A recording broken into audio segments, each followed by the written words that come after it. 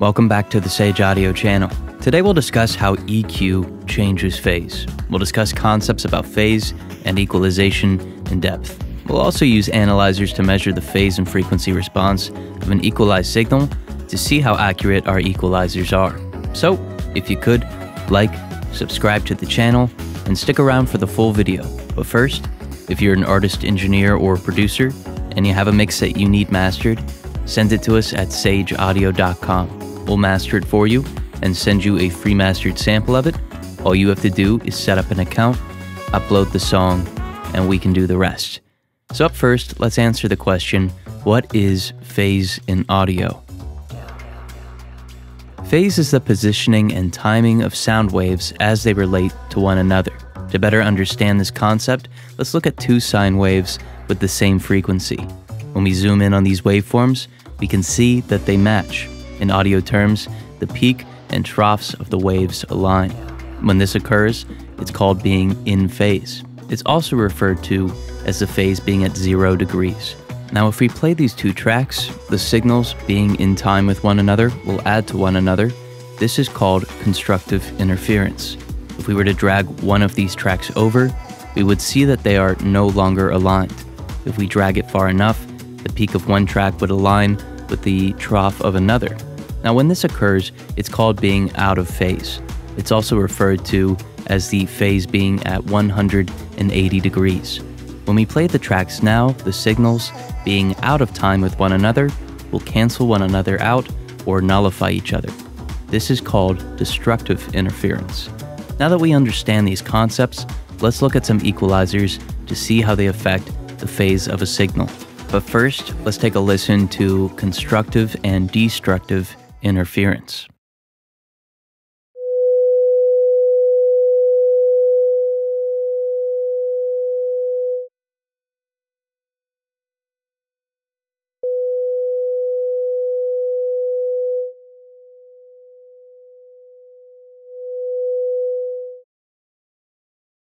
So the next question would be how does EQ change phase?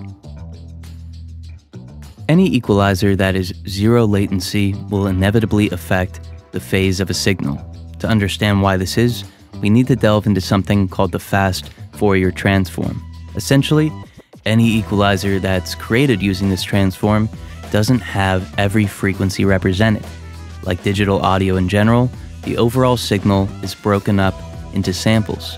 So let's say an EQ uses 4,096 samples. If we use the Nyquist frequency theorem, we know that this means that we can have 2,048 frequencies. Now, if our session has a 44.1 kHz sampling rate, then our available frequency range is 22,050 Hz. Because we only have 2,048 frequencies, of this 22,050 Hz that can be represented, we end up with having about one band every 10 Hz. Now, each of these bands is referred to as a minimum phase filter since they each very subtly alter the timing and in turn the phase of the signal. Now, this is all getting a little confusing, so let's look at the phase of an equalizer using the Bertom EQ curve analyzer. Let's create a bell filter at 500 Hz and amplify it by 4 dB.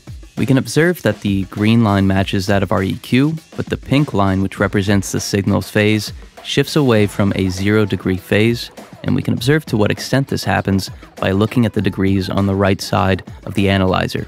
The greater we amplify this band, the larger this phase discrepancy becomes. Notice that the only point that is in phase is the center of the band, but the frequencies around the center are pushed out of phase. This becomes even worse when we start to affect the low frequency range, especially when we create a high pass filter.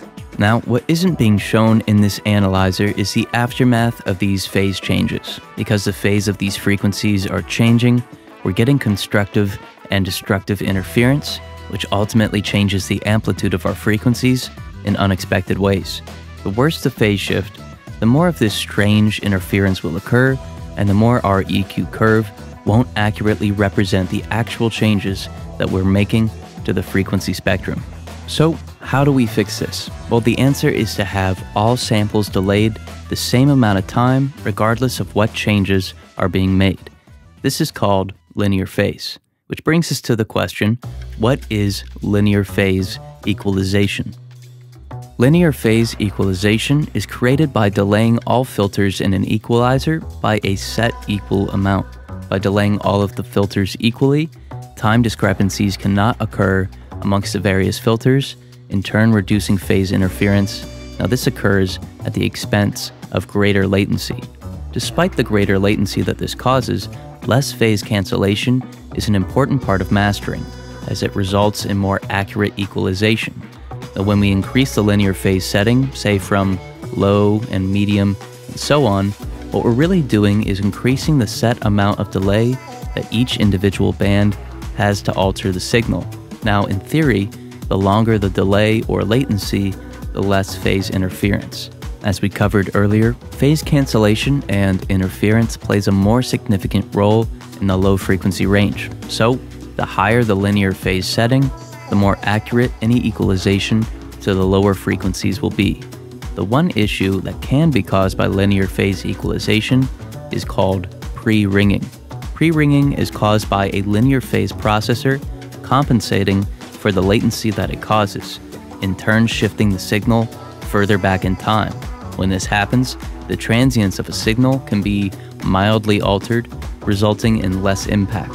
Now, this effect becomes more aggressive the higher the latency, so keep an ear out for it when you're using higher linear phase settings. Let's listen to zero latency settings compared to linear phase settings and also see if we notice any pre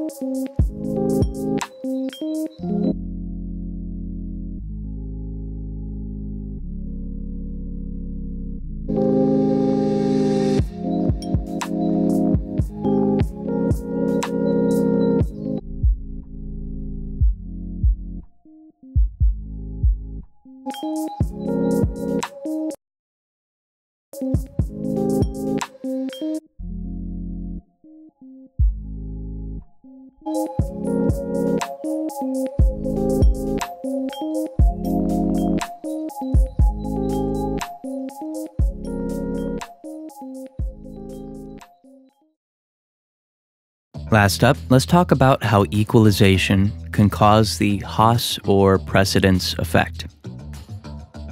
When we use a minimum phase equalizer or a zero latency equalizer, we have the potential to create what's known as the Haas effect. The Haas effect or precedence effect occurs when two identical signals are played to the left and right ear with one signal delayed slightly. The signal that arrives first gives the listener a locational cue, in turn making the listener think that the sound is coming from that direction. Following this thought, if we had two identical signals, hand hard left and right, say an acoustic guitar, and we use zero latency equalization on one of them but not the other, we'd shift the phase of that channel.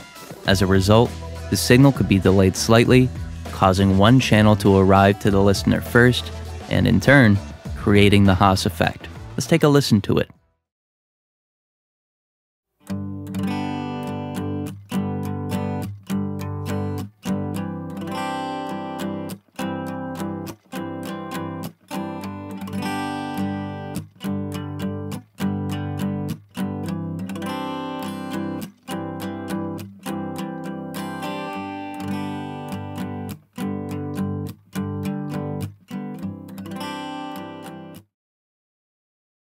So, these are our thoughts on how EQ shifts phase, but what do you think? Do you use zero latency or linear phase most of the time, and why? Let us know in the comments section below. Also, if you're an artist or an engineer, send us one of your mixes at sageaudio.com. We'll master it for you and send you a free mastered sample. All you have to do is set up an account, upload the song, and we do the rest. But thank you so much for watching. We really hope you enjoyed it. If you did, please like and share this video with your friends. This way we know if you'd like to see more videos like this one. Also, you can subscribe to the channel. We release new videos every week, and subscribing is the best way to stay up to date. There's a comment section where you can leave your thoughts on this video, or you can make a suggestion for a future video. And again, if you're an artist or an engineer and you have a mix that you need mastered, send it to us at sageaudio.com. We'll master it for you and send you a free mastered sample. Thank you so much for watching. We'll see you in the next video.